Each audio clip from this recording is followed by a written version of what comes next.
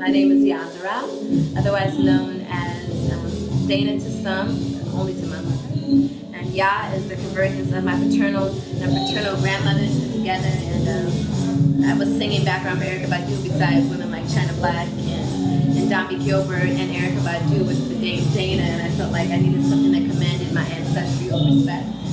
And one of my great ancestors is Yasa. My, my father was born from a line of 29 children, 26 girls, the only surviving boy.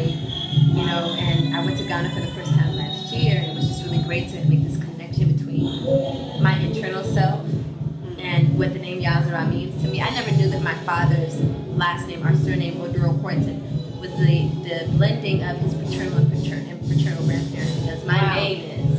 And I didn't meet my father until I was 14. And we didn't have this conversation until last year when I turned 39.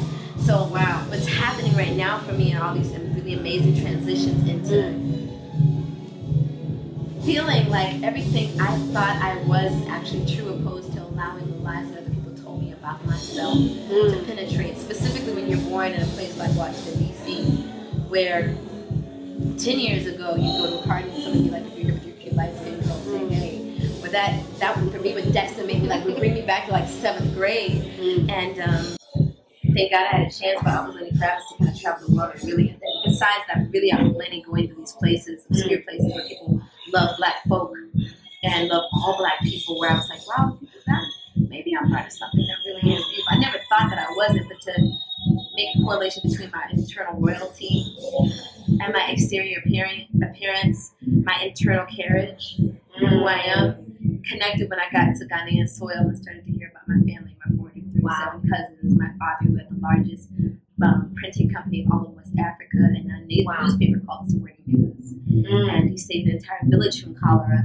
But he, like all politicians, had a loose zipper and lots of charm. Mm. So I was mm. 16. Papa was a Rolling Stone. Papa was a Rolling Stone with his own issues and proclivities and whatever. But I, you know, sometimes our biggest and our brightest have the largest fallacies and weaknesses because mm. people aren't human.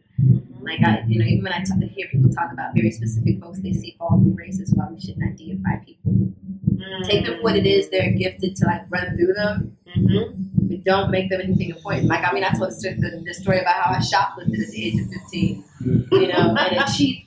So pink, what did you say? Pink silk shirt. Uh, well, I was really into like Madonna at the time, and this was like 1992, so I was really behind. But I fell in love with like wearing like crosses and goth, and I was wearing a hot pink silk raw silk shirt and stretch jeans and Timberland boots. Oh, running through the station like a like a ball of fire with my homegirl Alyssa holding my little jacket.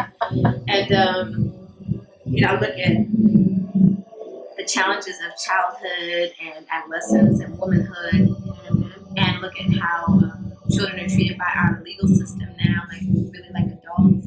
I would have I the the social worker who was responsible for my child wanted me to go Cedar which was the equivalent of like a Rikers for children, mm-hmm. I wouldn't have survived. I would have been eaten up by the system. I wouldn't be me. Mm-hmm. And it was because a judge, white judge in Wheat, Maryland, Montgomery County, was like, this is excessive. Mm-hmm. That you want to send this kid away for the rest of her life.